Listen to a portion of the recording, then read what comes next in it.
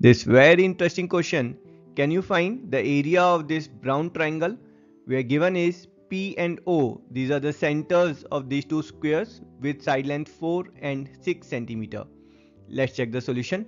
Let's start by drawing the diagonals of both the squares that's DB and FB. We know that diagonal of a square is root 2 times the side length. So DB length will be 6 root 2 and DO that will be half of it or 3 root 2. Same way FB length that will be 4 root 2 and PB that will be half of it or 2 root 2. Also in a square the diagonal makes an angle of 45 degree with the side length. So this green angle is 45 degree. Also this above green angle this also is 45 degree. Our complete angle at point B is 90 degree.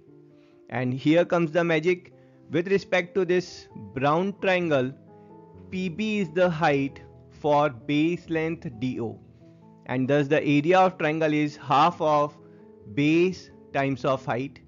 So solving it will get area of this triangle as 6 centimeter square and that's our answer.